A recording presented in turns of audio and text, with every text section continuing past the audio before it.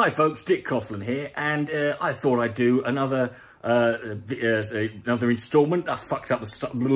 Hi folks, Dick Coughlan here. How are you? I'm fine, thank you. Uh, can't talk at the moment for some reason. And uh, last month I did a video where I sort of decided I'd go back over, sort of like going over old videos that I did many, many years ago that many of you may not have seen and sort of revisiting them and seeing how things have changed, if anything. So, so that's really it. Now, last week I did Pat Condell and of course I got loads of requests from people asking about this person, and that person, but I thought I'd go a bit less obvious this month, and I thought I'd pick uh, one of my earliest videos that I ever did a response to. Um, as a user on YouTube, I, I, I, think, I don't know whether he's still on YouTube, he may very well be. Uh, he goes by the name of Nick Bravo. He was associated, um, unfortunately, for, you know, for, you know, for all involved with uh, Happy Cabbie, uh, you know, for, for um, and had a long-standing rivalry with him. But before I'd even heard of Nick Bravo or was aware of who he was, um, I came across this video uh, on a channel called Christ Bravo. And, uh, and this was the video, uh, uh this was the first video I ever saw of him. I wanted to make this clear, if Nick, if Nick, if you're out there, if you come across this video, uh, I want to make this clear, there's no, there's no animosity or hatred here. This was 12 years ago. I'm sure both of us have moved on from then. So you don't need to take this personally. Um, this is, I'd like to think you're just as uh, embarrassed by this video as I, as I probably am. There is also a second video he uploaded after this one that I never responded to, that I've also made a response to. However, if you want to see that, you're going to have to join my Patreon. And you can do it for as little as $1 and you'll get lots of extra content. But other than that, let's crack on, shall we? Hi. Hi. My name is Bravo de Christos. I'm Dick Coughlan. Coughlan de, Kis de Dickos. The excellent Christ. I'm the awesome Dick. But just, just to make it clear, Bravo de Christos does not actually translate as the excellent Christ, so you've added that on. And I don't know about you, but one quality that Christ had in the Bible was humility. And I just think putting the word excellent in your name is a tad, you know, suggests that you're trying a bit too hard. I would have gone you know, just for plain old, I would have played it down a bit, you know. You may be wondering if I'm the real thing. Nope. You may be wondering what is my purpose here. Uh, nope. These are all good questions. Mm, not really. No. Um, you know, I mean, if someone comes up to me and says they are the excellent Christ, even when Jesus himself did not call himself the excellent Christ, you know, I've got a few more questions beyond, you know, what is your purpose? And my purpose is to teach. Right. Did you not think of becoming a teacher then? Um, and specifically what? I mean, how to become a Christ? I mean, would be be a good start. My purpose is to uh, reach out to those who are broken, who are wounded. Okay, to teach people, so, you know, to teach people how to fix themselves. You know, reach out to those that are broken. You can do this without being Jesus, you know. You don't have to be Christ. Yeah, I'm sure it helps. And heal them. Okay, you're going to heal them, people who are broken. Okay, is that with miracles? You know, or are you just gonna put a band-aid on them or phone phone an ambulance? I mean, I just you know this is and you're gonna teach them stuff on the way there. You're gonna teach basic health and safety. The power of the universe flows through me. The power of the universe flows through through. That that kind of doesn't mean anything, really, does it, Nick? or Christ, Mr. Bravo. I don't know how to call you, really. Um, uh, Mr. Excellent, yeah, Bill and Ted's Excellent Jesus. What, what, did, what does that mean, the power of the universe? That sounds quite painful, really. Thus, I am Christ. So that's, that's all you've got to do to be Christ, is have the power of the universe flow through you. Doesn't seem worth it to me. Some of you may already be familiar with my other channel by which I first explored YouTube. You explored YouTube. We didn't, didn't explore. You- You're making it sound a little grandiose there, Nick. You know, it's you don't explore. You just go on. You go on YouTube and search search for stuff. This was in 2008, in all fairness, and there wasn't too much on here. But um, I, I even back then, I never found anything that sort of made me think. You know, yeah, I could be Jesus. And I'm certain that duplicate channels are allowed because I see a lot of partners with duplicate channels as well as other people with channels who, you know, they have more than one channel. I certainly fucking hope they allow du- duplicate channels, because otherwise I'm fucked. And to be quite frank, so are you, Nick, because to be honest, I couldn't find any channel. I don't know whether you're on YouTube. I, I found these on a mirror channel, which it seems to be, as is, as is the case with me, most of the channels that exist for your content on are channels that you don't own. And, uh, and to be fair, you know, if you are, if you are Christ, I think, you know, I think we can allow him to have another YouTube channel, you know, can make, make the rules there, bend the rules there, can't we? You may be asking, how did you, uh, you know, if, if you're Christ, how is it that you're not wearing robes and, you know, all that other stuff? Well, Okay, again, Nick. Okay, if someone comes up to me and claims to be Christ, my first thing isn't to check out their clothes and go, "Well, what's with it?" Uh, hold on, you're not dressed for it, mate. May I? May I add? You know, you're not wearing. You're not. You don't seem to be dressed like some like like, he, like Christ used to be. That wouldn't be on. You know, I'm not saying it wouldn't be a question, but it wouldn't be in the top twenty. Be a lot of other things like, are you mental? Would be another question. See, if you're confusing me with Jesus the Christ, Okay, hold on. Go. I've read the Bible. Now, maybe my translation is not, maybe my sort of understanding is it, but as far as I'm aware, he was called, he was called Jesus Christ. He wasn't called Jesus the Christ. You know, like Kermit the Frog. He was just Jesus. It was Jesus Christ. That was, you know, there was no point in the Bible, you know, like I said, maybe I'm misunderstanding here, but it wasn't Jesus it wasn't Jesus the Christ as far as I'm I'm aware. And and to be fair, Nick, it's a, it's it's you know say to say we're confused. No one's confused you with Jesus. No one's confusing you. No one's assuming you. That's not what's going through people's head when you tell people you're Christ. Um, 2,000 years ago, robes were what they were back then. I'm not going to dress any differently than I usually do. Yeah, fucking right, man. You tell. You know. You know, right now I'm wearing my Hawaiian shirt and khakis, which is perfectly acceptable. Yeah, yeah. If you're Mr. January in this year's paedophile styles and fashion, um, I, I, the one problem I have with believing you're Christ, Nick, is that you're bald, and I can't. You know, there's a few things. You know, I don't. But I'm an atheist, obviously. Don't believe. You know, in, in Jesus coming back. But if he did, there's a few criteria. One, he can't be bald, right? Can't be short either. I don't want a short Jesus. A short, bald Jesus. I don't know how tall you are, but you know, Yeah, Hawaiian shirt and khakis. Yeah, but whatever. Who am I to fucking sit here and uh, and tell tell tell tell the, the excellent Christ, you know, how to dress? I mean, I'm wearing a Wham shirt, so I think that means every right in the book. Now, you may be wondering a lot of things. Yeah, you've nailed it. Yep, that is finally. that I cannot answer in a 10 minute video. Okay, um, you can't answer them in a 10 minute video. Okay, that's fine. Okay, obviously, I don't expect you to cover everything. You're announcing that you're Christ.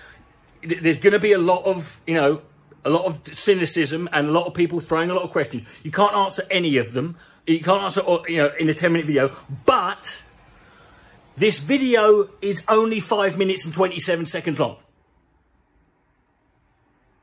You know, so you could at least there were four. So there are four minutes and thirty-three seconds left over you could have spent answering some of them.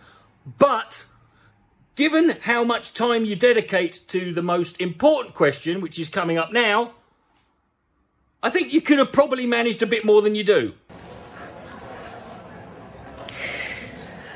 How I became Christ Bravo. Yeah, that that's a good start. Yeah, this is where we. This is a good start. How how, how did that happen? Right, let's get on with that.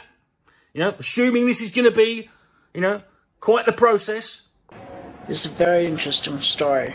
You and I have very different definitions of the word interesting, apparently. When I was younger, I was a Christian, and I asked uh, Jesus, I said, Make me, I want to be like you.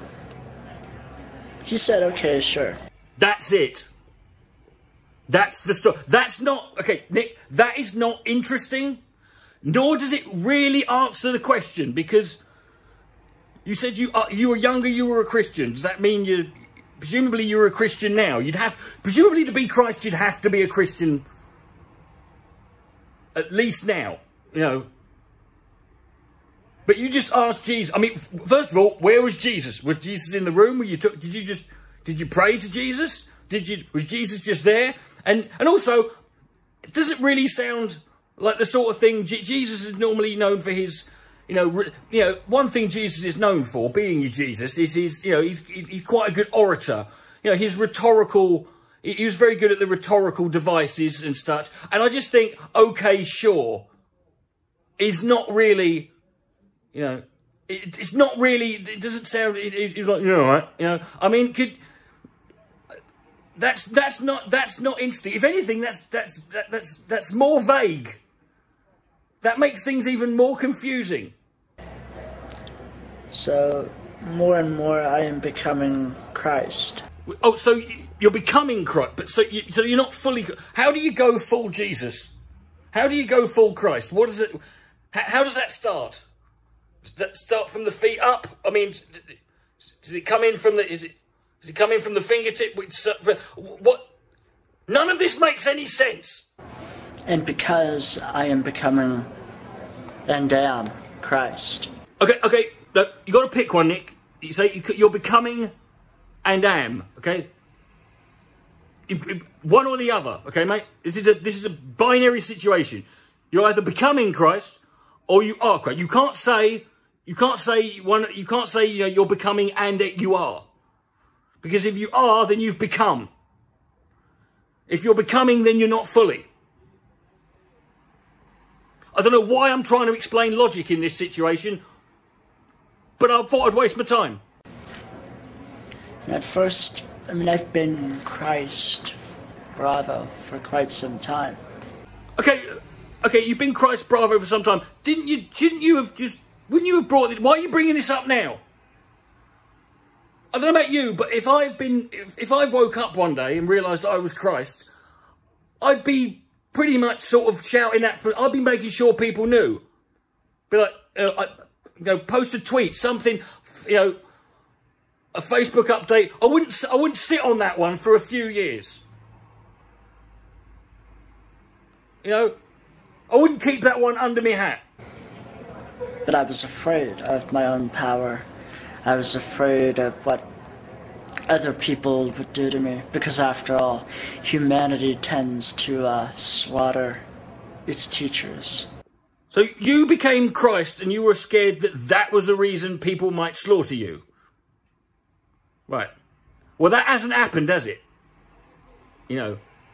And um, you tend to have a, there tends to have to be a bit more you know, of a problem Really, I mean, there tends to have to be there tends to be a bit more of a reason people slaughter people. Jesus didn't get slaughtered because he claimed he was because he claimed he was Christ. Let's get that straight.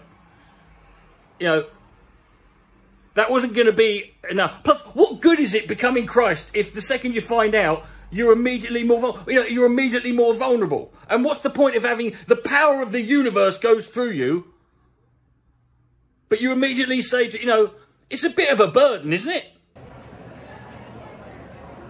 And I'm not, I don't think that everybody is going to learn from me. I mean, I'm not naive enough to think that, oh, if they just hear what I have to say, they'll change their thinking. No. Well, it's nice to know you're playing it down. You know, that's at least true. Yeah. If you know, I, I'm sure that's what that is what Jesus, you know, would have said. He's like, you know, he's like, I'm going to tell people, fuck knows if they'll listen, but you know, none so blind as them that what won't listen, as my nan used to say. To, to those who have understanding, they will understand. But if they've already got understanding and they already understand, what's the point of that then? What is the point in talking to people who already understand something? That's called an echo chamber. And that would have been pretty useless to Jesus, considering Christianity didn't exist. I'm not going to bash my head against the wall trying to teach people who don't want to be taught. Yeah, that's that's a good attitude. That's the attitude Jesus would have been taught. You know, if someone would, if someone would, you know, if he if he encountered someone who was, you know, struggling to, struggling to get his head round it, he'd have been like, "Oh, fuck you! I'm not gonna fuck fuck you! Not gonna bash his head against the wall. The motherfucker got nailed to a cross. He sacrificed his life for for, for humanity. You're not gonna bash your head against the wall." Because you come up against someone who's a bit, you know, who's not getting it. Um, just as you would not try to uh, teach calculus to a uh, mentally retarded person.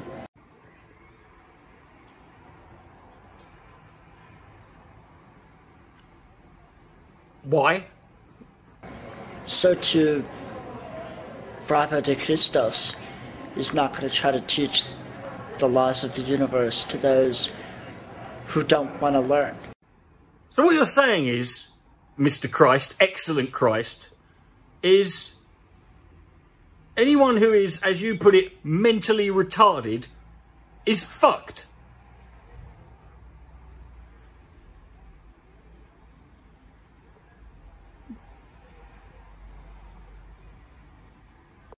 It's futile.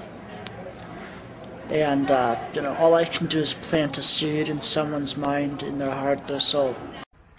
Yeah, but if you plant a literal seed and something doesn't grow, you don't go, well, fuck it. Yeah. If at first you don't succeed, nah, fuck it. Who gives a shit? And, I know some of you probably think, uh, you know, oh, Nick, you've gone over the deep end. No. Um, Mm, no, I wouldn't say deep end. Um, you know, bored, trolling, um, grifting. I don't know. Given where we are in the state of the world since this video was made, I don't think I think the deep end has been redefined. Don't you? I've never seen things more clearly, actually. Yeah, that's uh, that, that that's that, that's exactly what people who have gone mental tend to think, isn't it? You know? You never meet a cult member who's like, oh, I've been brainwashed to fuck. I am so far, I, I have crossed the Rubicon, bruv, mentally. I am bonkers. And it's fantastic. Um, I've read books. Whoa, he's read book. Well, why didn't you say so? He's read books. Well, that'll do for me. Jesus didn't read, but did Jesus read books? Is that how Jesus came to the conclusion he was? Did he read? Are you Christ, an idiot's guide? I've meditated. I've prayed. Those are just two synonyms for done nothing. I've reasoned. With what? Yourself? It's pretty easy, that, isn't it? It's pretty easy to reason with yourself, isn't it? Are you Christ, Richard? Well, yes, I think I am. Oh, that makes sense to me. Good. See, the universe's gift to each and every individual is a thinking mind. Yeah, but there's literally no... There's, there's not a non-thinking mind, is there? I mean, all minds think, don't they? Technically speaking. I mean, if, you, if a non-thinking mind is a dead mind, is a mind that doesn't work anymore, is dead, is, you know, is attached to a brain that doesn't work. That's not the universe's gift. That's just the definition of a mind. And I've used my thinking mind. I love the way he says, I've used my thinking mind, as opposed to what?